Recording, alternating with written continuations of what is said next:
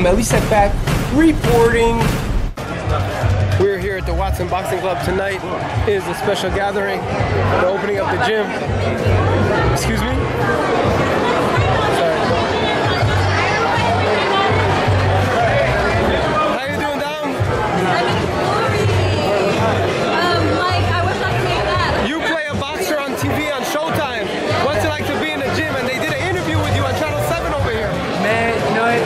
Super thankful, count my blessings every day, and just it's amazing seeing how the, these events keep happening organically. You know?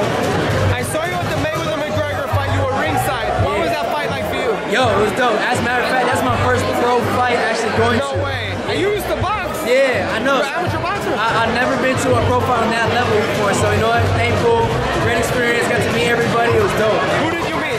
Oh man, I met everybody from Mike Tyson. I met Bruce Willis, Don Cheadle, Chance the Rapper, LeBron James. Everybody was cool, man. Everybody showed a lot of love. It was just good energy. Everybody was there to support Floyd, and he put on a good show that night. You Did know? they all recognize you, Dominique Columbus? They Oh, say yeah. we love watching you. Tell us about that. What did they say? Who? Man, yo, I took probably over a hundred pictures that night, and the amount of love that I got from my supporters, it, it, it really helped me believe that I'm really setting a good example. So I'm thankful, you know. For those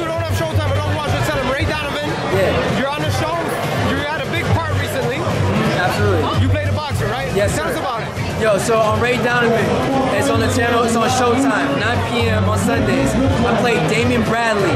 So basically, I'm a homeless kid that turns to a professional boxer, and you just see me throwing hands. I got a dope story in the show. Come check it out on Sundays and love my characters. Okay. Dominique, if you could fight one professional fighter right now, who would you want to fight? If I could fight one person, Yeah, a real fight, like a real boxing fight. I'll say Conor. Conor, That'd what be happens fun. in that That'd fight? be fun. That'd you knock him out? Oh, I'm laying hands.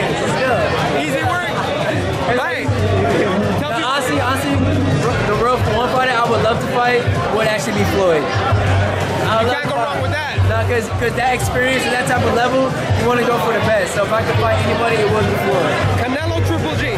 Oh, I'm rolling Canelo, baby. Canelo all day, baby. Tell people where to follow you if they're watching.